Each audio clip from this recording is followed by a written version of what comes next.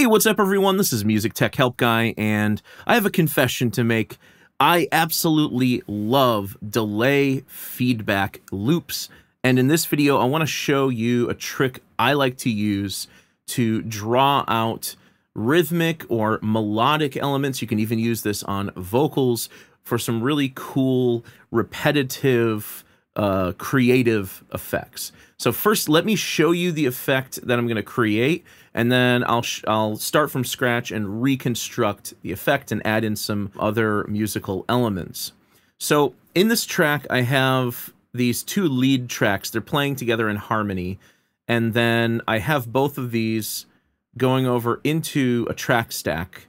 And on this track stack, I have a tape delay plugin, and I've automated the level of the feedback on the delay. I've also used an EQ here to just automate like a filter here. So on these tracks, essentially, they're starting with a lot of the high end uh, cut out, and then by the end, more and more of the high end comes back in. So it's just giving more and more high frequency emphasis throughout the musical example. So let me just play the example and then I'll show you how to recreate this.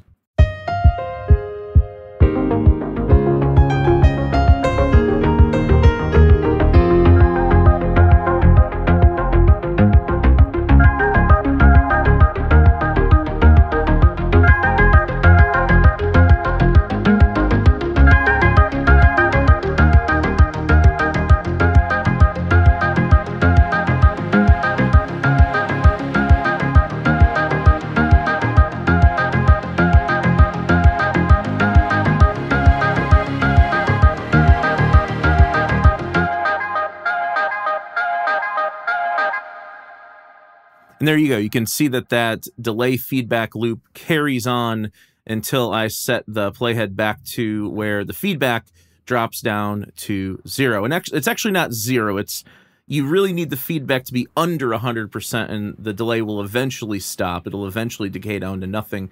But if the feedback is higher than 100%, that delay is just going to continue on and on and on and on and the higher the feedback amount, the more of that feedback loop you're going to get. And eventually it will just degenerate into noise.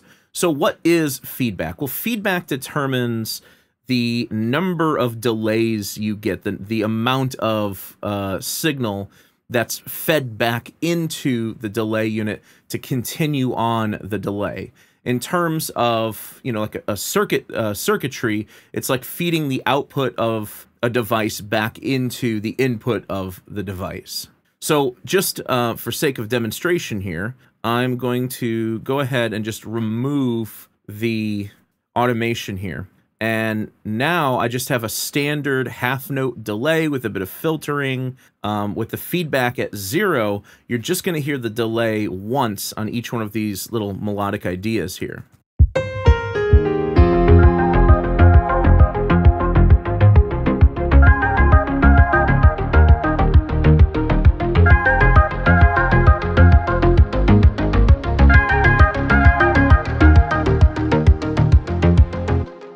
So the more you push up the feedback, the more repetitions you will get in the delay.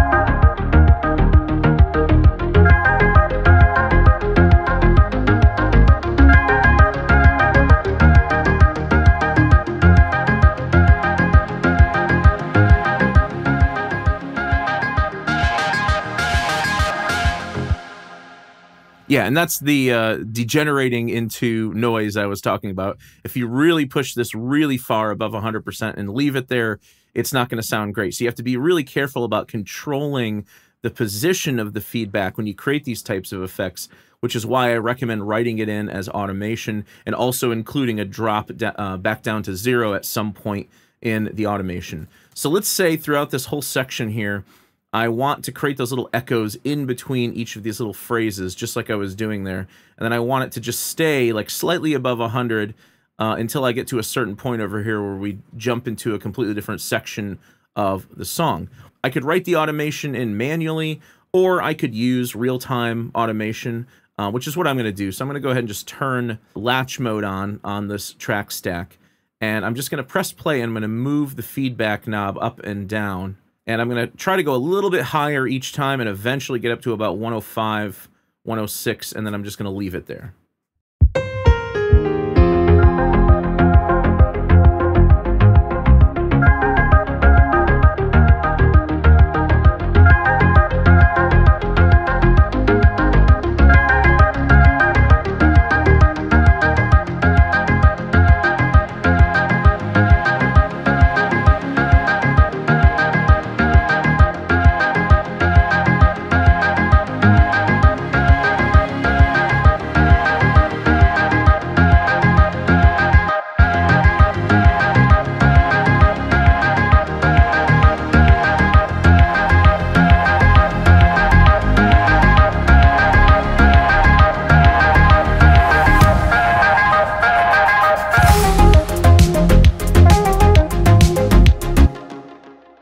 Okay, so basically what we do is we come right back into the main melody at bar, I think it's, yeah, like the second beat of bar 68 here.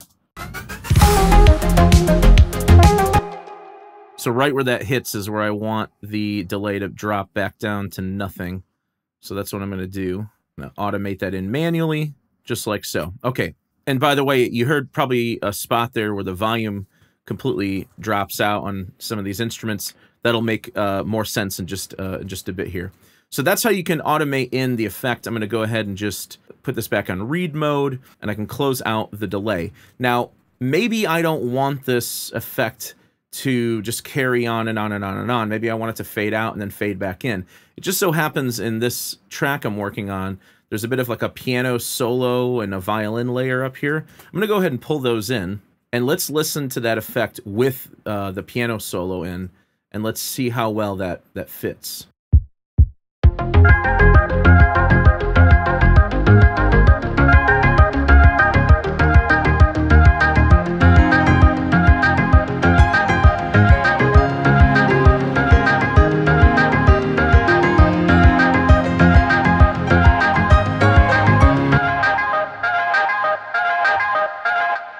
So yeah, that's just carrying on and on. It's it's burying the piano.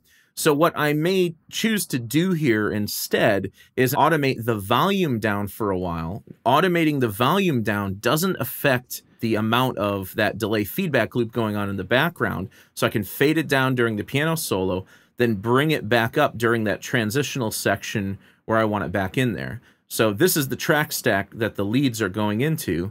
So I could just do something like this, where I automate this down for several bars just like that. And then when we get to the tail end of the uh, keyboard solo, the piano solo, we can ramp it back up. So let's see what that sounds like. I'm going to start, um, actually, I'm going to start a little further back because there are some instrumental melodies here in the piano that tie into this lead. So this is essentially the entire uh, musical example now.